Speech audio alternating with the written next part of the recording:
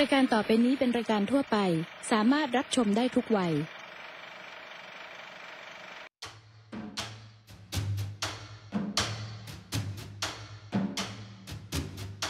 สวัสดีครับ พบกับรายการเพ t เลเวอร์บายเจอไฮตอนพิเศษครับ กับเรื่องราวของกองกำกับการม้าตำรวจ กองบังคับการสายตรวจปฏิบัติการพิเศษครับ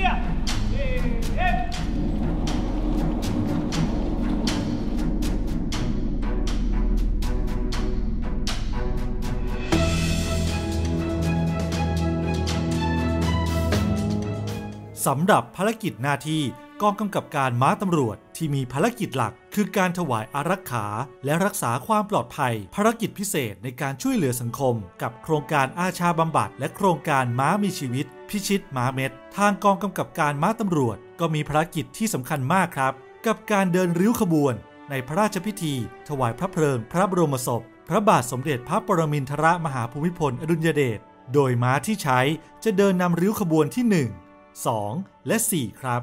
เราไปดูภาพการซ้อม และม้าแต่ละตัวที่ใช้ทำภารกิจหน้าที่ในครั้งนี้ครับ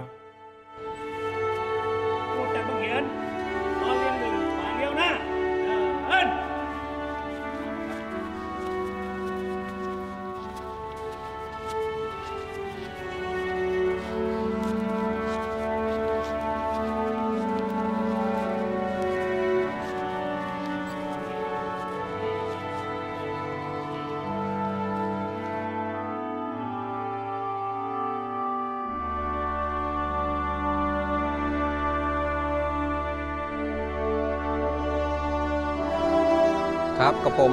พันตำรวจโทรัตพัฒน์ลวงพึ่งสารวัสดิ์ฝึกอบรมม้าตำรวจครับ สังกัดกองบังคับการสายตรวจและปฏิบัติการพิเศษครับม้าประจำนะครับของสารวัสดิ์นะครับคูไซเดอร์ครับสายพันธุ์วอมบัตครับนำเข้ามาจากประเทศออสเตรเลียครับที่โรงฝึกม้าหลวงวันนี้นะครับสารวัสดิ์ได้นำลูกน้อง แล้วก็ม้าจำนวน 6 ม้าเพื่อมาฝึกม้าประจำวัน เพื่อจะประกอบพิธีในริ้วขบวนงานราชพิธีครับผม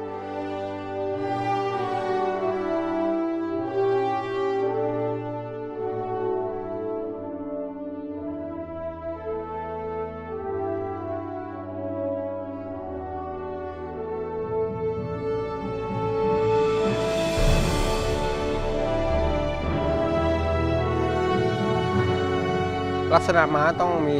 ลักษณะที่สง่างาม แล้วก็ขนมันวาว แล้วก็เป็นม้าขาวครับ เราก็นำมาฝึกเป็นแบบม้าหลวงที่เพื่อใช้งานราชพิธีโดยเฉพาะครับผม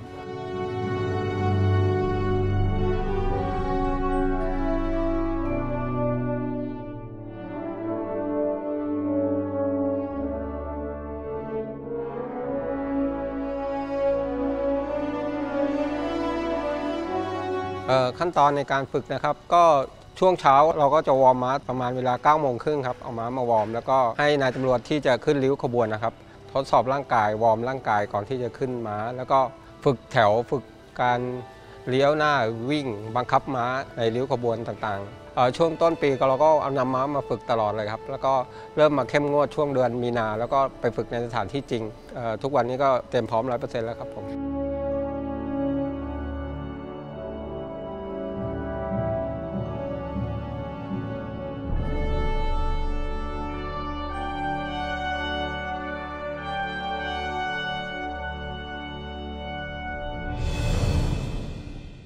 ผมร้อยตำรวจตรีโสพลแจ้งกระจ่างตำแหน่งรองสารวัตรงานฝึกอบรม ม้ากองกับม้า ชื่อม้าไมคอฟครับ เป็นสายพันธุ์วอมบัตนะครับ มาจากประเทศออสเตรเลียอายุ 8 ปีครับ ม้าไมคอฟนะครับ มีนิสัยค่อนข้างที่จะนิ่งเชื่อง ไม่ดุร้ายไม่ดื้อรั้น ลักษณะเป็นม้าที่ตัวใหญ่แข็งแรงนะครับ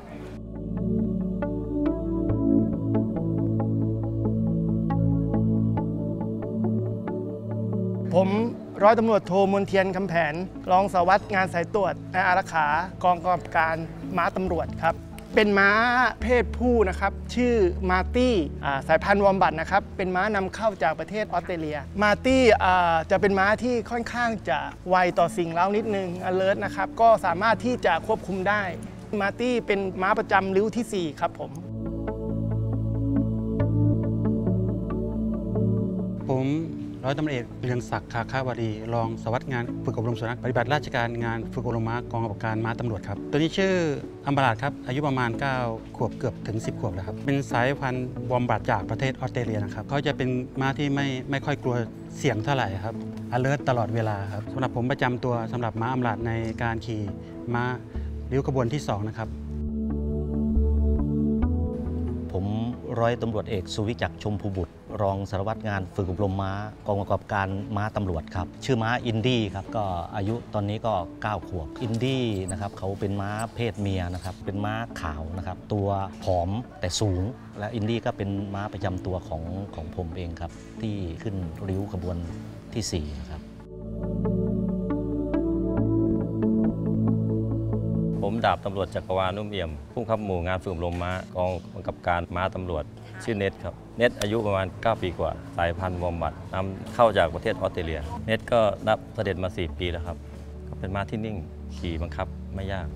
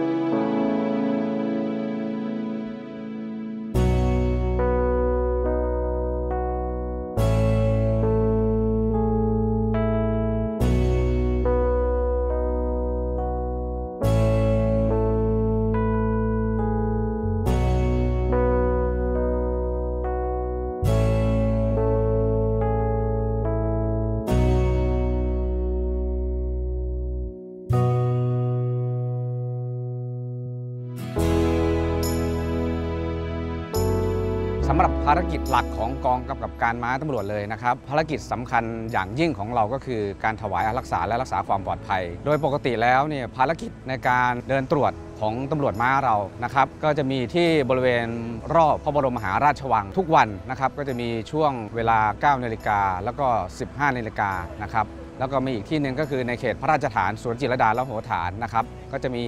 ช่วงเวลา 9 นาฬิกา 11 นาฬิกา 13 นาฬิกาแล้วก็ 15 นาฬิกาครับ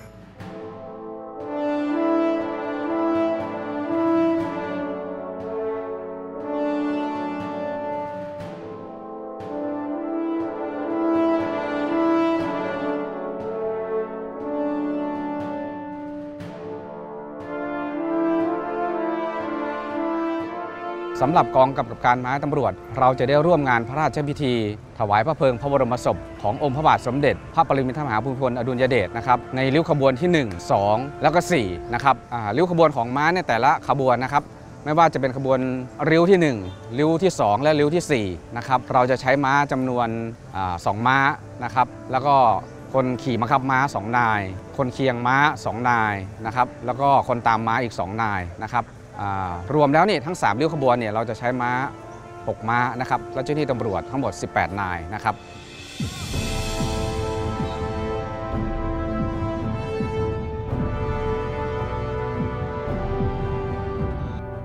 ริ้วขบวนที่ 1 พระยานมาศสามลำคาญ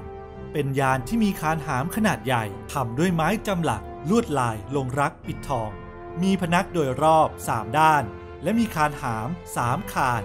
จึงเรียกว่า พระยานมาศสามลำคาญ อยู่ในขบวนพระบรมราชอิสริยยศริ้วที่หนึ่งใช้สำหรับอัญเชิญพระบรมโกศจากพระที่นั่งดุสิตมหาปราสาทในพระบรมมหาราชวัง เส้นทางขบวนพระบรมราชอิสริยยศริ้วขบวนที่หนึ่งเชิญพระโกศทองใหญ่ โดยพระยานามาศสามลำคาญจากพระที่นั่งดุสิตมหาปราสาท ไปอย่างพระมหาพิชัยราชรถหน้าวัดพระเชตุพนวิมลมังคลาราม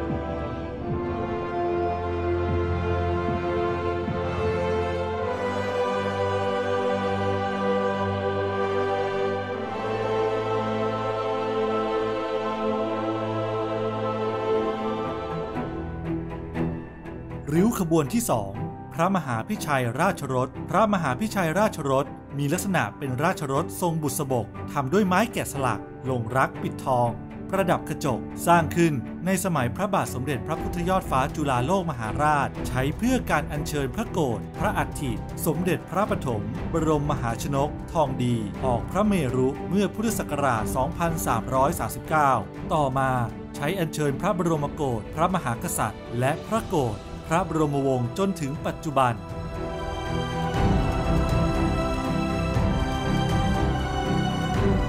เส้นทางขบวนพระบรม ราชอิสริยยศ ริ้วขบวนที่สองเชิญพระบรมโกศโดยพระมหาพิชัยราชรถจากหน้าวัดพระเชตุพนวิมลมังคลาราม ไปยังพระเมรุมาตรท้องสนามหลวง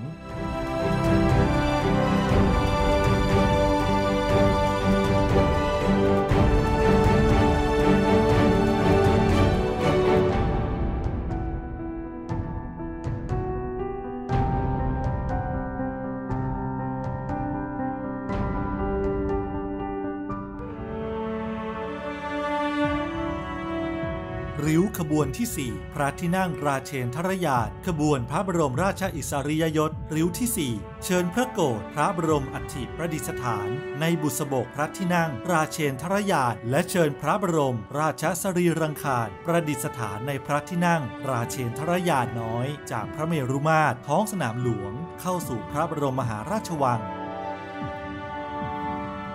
ขบวนพระบรมราชอิสริยยศริ้วขบวนที่ 4 เชิญพระโกรธพระบรมอัฐิและพระบรมราชสรีรังคารจากพระเมรุมาตรเข้าสู่พระบรมมหาราชวัง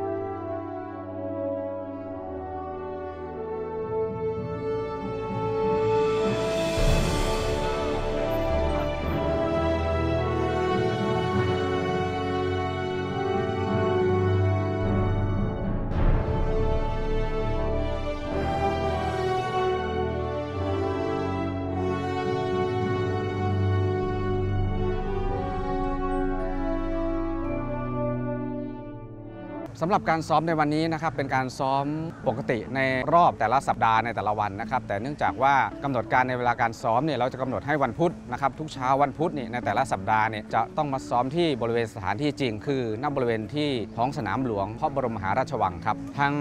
กองกำกับการม้าตำรวจเรานะครับโดยกองบังคับการสายตรวจปฏิบัติการพิเศษเนี่ย พวกเราเหล่าข้าราชการตำรวจนะครับทั้งผู้บังคับบัญชาและผู้ใต้บังคับบัญชาทุกนายรู้สึกภูมิใจเป็นอย่างยิ่งนะครับที่ได้มีส่วนร่วมในงานพระราชพิธีอันสำคัญเยี่ยงนี้เรารู้สึกภูมิใจเป็นอย่างยิ่ง เรารู้สึกว่าเป็นงานที่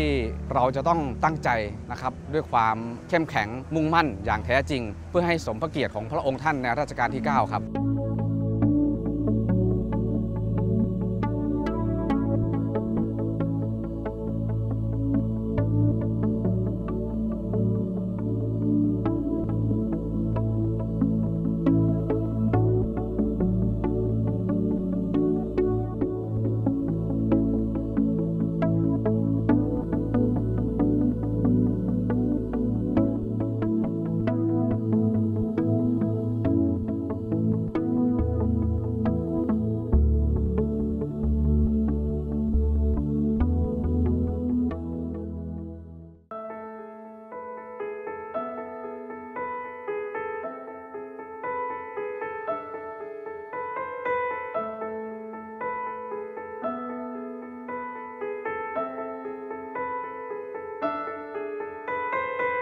สำหรับม้าที่ใช้ในการเดินริ้วขบวน ในพระราชพิธี ถวายพระเพลิงพระบรมศพพระบาทสมเด็จพระปรมินทรมหาภูมิพล อดุลยเดชจะต้องมีการดูแลเป็นอย่างดีครับ เพื่อให้มีความพร้อมมากที่สุดในพิธีที่สำคัญครับ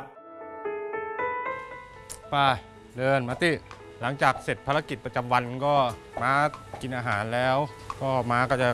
เข้าคอกเพื่อพักผ่อนประจำวัน ติมา มา มาติก็ตอนเช้าเวลาประมาณตีห้ากว่าถึง6โมงเช้าหลังจากเจ้าหน้าที่เขาจ่ายอาหารม้าเสร็จแล้วม้ากินอาหารเสร็จแล้ว เราก็จะมาทำความสะอาดคอกม้า ก็ใช้เวลาประมาณ 40 นาทีถึง 1 ชั่วโมง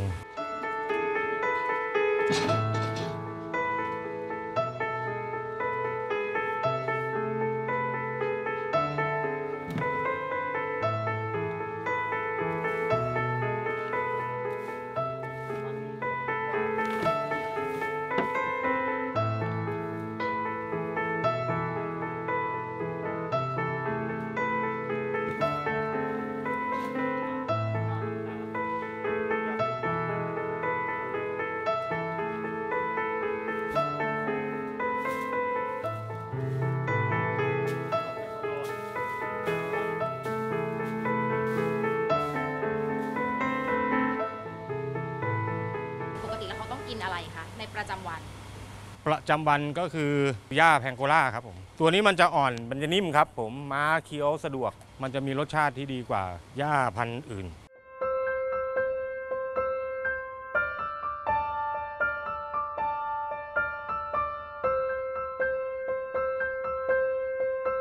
หลังจากกลับปฏิบัติหน้าที่ภารกิจประจำวันนะครับ เรื่องการอาบน้ำสำคัญมากครับผมม้าเขาจะมีเหงื่อร้อน แล้วก็ทำให้เขาคลายร้อน แล้วก็อาบน้ำผิวตัวเขาผิวกายเขาจะสบายขึ้นไม่มีเหงื่อใครม้าจะไม่เกิดโรคผิวหนังครับ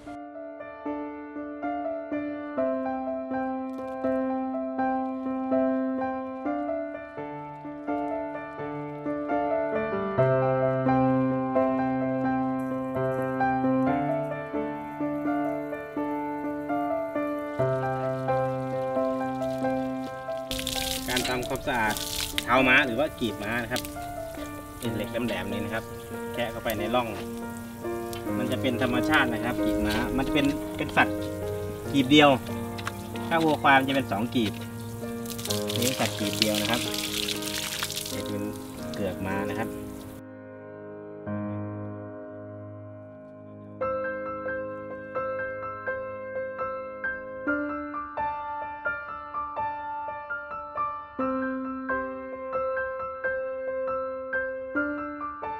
อกจากนี้การดูแลม้า ซึ่งเป็นสิ่งที่สำคัญแล้วกำลังพลของตำรวจก็สำคัญมากเช่นกันครับ ในกองกำกับการม้าตำรวจยังจะต้องฝึกฝนร่างกาย เพื่อให้มีความพร้อมมากที่สุด ในงานพิธีที่สำคัญที่สุดเช่นกันครับ ตรงหน้าระวังยอหัด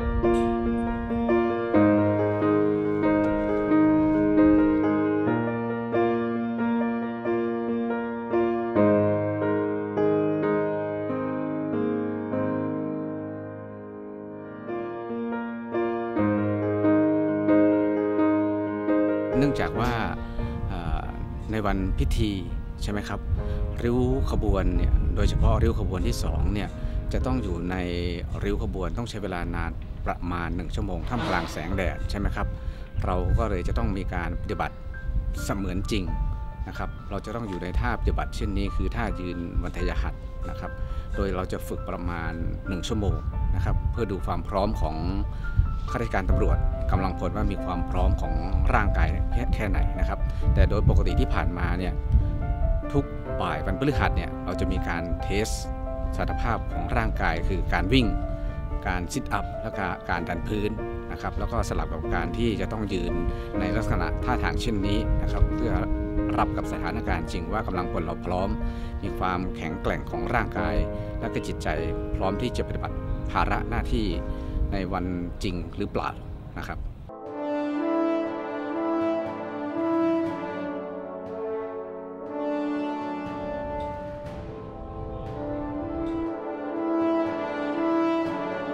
สำหรับวันนี้เวลาของรายการ Pet Lover by เจอไฮก็หมดลงแล้วครับ กลับมาเจอกันได้ใหม่ในสัปดาห์หน้าสำหรับวันนี้ สวัสดีครับ